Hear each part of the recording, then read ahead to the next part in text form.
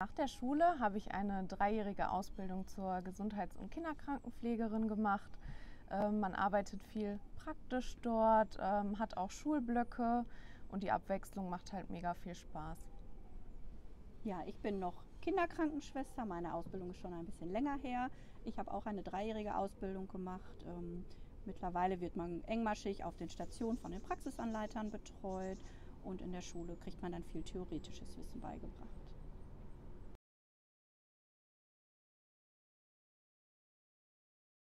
Hier bei uns im äh, Kinderpalliativzentrum zu arbeiten und auf der Station Lichtblicke oder auch im ambulanten Bereich, muss man auf jeden Fall viel Empathie mitbringen. Ähm, man muss viel akzeptieren können. Den Weg der Eltern und der Familie, finde ich, muss man akzeptieren können. Man muss die Endlichkeit des Lebens auf jeden Fall annehmen können, dass manchmal wir nur begleiten. Genau, ganz, ganz viel Humor auf jeden Fall ja. auch ist immer ganz wichtig. Wir lachen auch viel bei der Arbeit. Empathie, genau wie du schon gesagt hast, auch ähm, ganz großes Thema und auch viel Geduld, weil manchmal dauert es halt einfach länger, das Ziel zu erreichen und ähm, ja. Ja. Man muss auf jeden Fall Lust haben, in einem großen Team zu arbeiten, genau. mit vielen Professionen, was immer wieder sehr bereichernd auch ist, wie ich finde, jeden ja. Blickwinkel mal zu sehen. Ähm, ja, man muss vor allem auch Spaß daran haben, sehr eng mit den Familien und mit den Kindern zu arbeiten.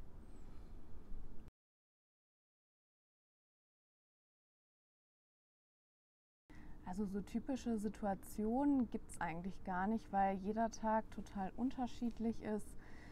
Manchmal lachen wir ganz viel, manchmal weinen wir auch, manchmal haben wir die Kinder alle im Schwesternzimmer stehen und ja, oder sind alle im Lebensraum zusammen und ja, es gibt so viele unterschiedliche Situationen und das macht halt den Job auch einfach aus, dass jeder Tag anders ist, kein Alltagstrott hier eintritt. Ähm, genau.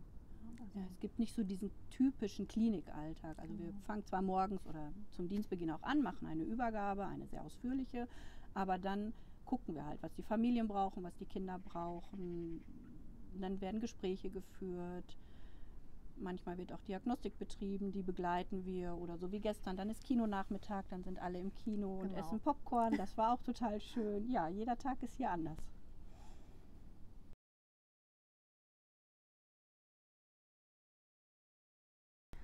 Was bedeutet das für uns? Also das hat positive Seiten, manchmal auch negative Seiten. Das Schöne ist, nah dran zu sein, dass man die Familien voll und ganz kennenlernt äh, mit all ihren Facetten. Ähm, und manchmal nimmt man halt auch die Patienten und ihre Familien mit nach Hause. Nicht immer, aber manchmal ist das so. Ähm, aber das macht halt auch unsere Arbeit aus, dass wir da so nah dran sind und dann auch wahrscheinlich einfach besser mit den Familien arbeiten können. Ja, ich empfinde das manchmal auch als große Ehre, dass man so nah mhm. dran ist, dass die gerade die Eltern sind ja überwiegend als Begleitperson da und auch die Patienten sich so öffnen, dass man ja so viel miteinander erleben kann. Ähm, ja, das ist immer wieder auch herausfordernd, aber auch sehr schön, finde ich. Das hat man selten auf anderen Stationen so, mhm. dass man so mittendrin ist.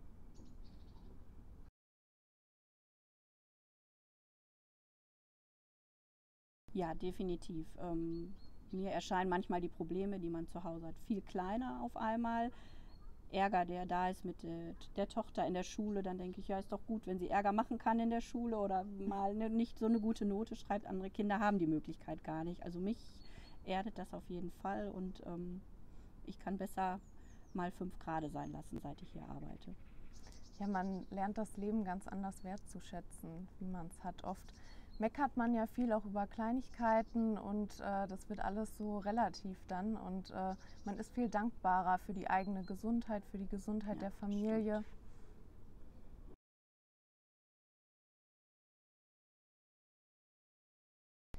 Ja, wie schon unser Motto auch einfach lautet, äh, Leid lindern, Leben gestalten, versuchen wir halt einfach das Leben der Patienten hier lebenswert zu gestalten. Da gehört dann auch mal dazu, dass man nicht immer feste Termine hat, die auch mal individuell anpasst. Wenn es dem Kind gerade nicht so gut geht, dann lässt man auch mal was ausfallen oder wenn gerade so eine schöne Situation ist, wie wir jetzt letztens hatten, wo die Musiktherapeutin Klavier gespielt hat auf dem Flur und alle Kinder standen, saßen auf dem Flur und wir haben es allen möglich gemacht, irgendwie auf diesen Flur herauszukommen, ob jetzt mit Infusion, mit Beatmung, etc. Das wird dann einfach möglich gemacht, damit die Kinder hier am Alltag einfach teilnehmen können. Und das ist für uns als Pflegende auch ganz viel wert, dieses Zusammensein, auch mal ja, raus aus diesem Krankenhausalltag zu kommen und äh, ja, einfach auch mal so schöne Momente dann zu genießen. Und wir stellen uns dann auch gern mal dazu und genießen einfach die Musik. Wir singen aber nicht mit. genau.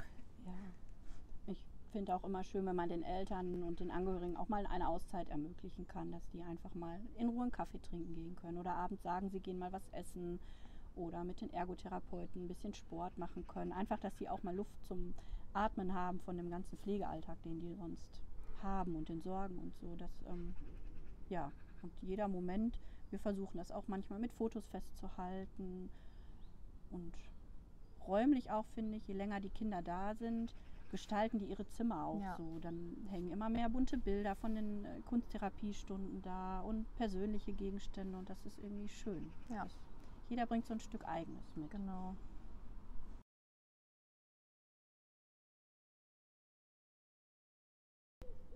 Es gibt uns halt, ähm, mir persönlich auf jeden Fall meine Familie, mein Mann, meine Tochter, meine Eltern und auch Freunde, wo man einfach auch mal reden kann, die sich das alles anhören, völlig wertfrei und dann geht es oft auch schon wieder besser. Definitiv das Team. Ich habe noch nie in so einem empathischen, wertschätzenden Team gearbeitet. Ja, bei mir auch meine Familie, also meine Eltern, mein Hund auch, hm. der gibt mir auch ganz viel halt, wenn ich ihn nach der Arbeit einfach kuscheln kann. Ähm, genau, meine Freunde auch und auch das Team. Also man fühlt sich hier einfach so wohl. Das ist schon ja fast familiär einfach bei uns. Wir können über alles reden und es wird auch einfach mal wertfrei akzeptiert, ja. wenn man sich beschwert oder irgendwas gerade nicht so gut läuft, dann kann man das sagen und dann wird es auch einfach so hingenommen und akzeptiert. Und äh, ja, man fühlt sich, also ich gehe wirklich jeden Tag gerne zur Arbeit.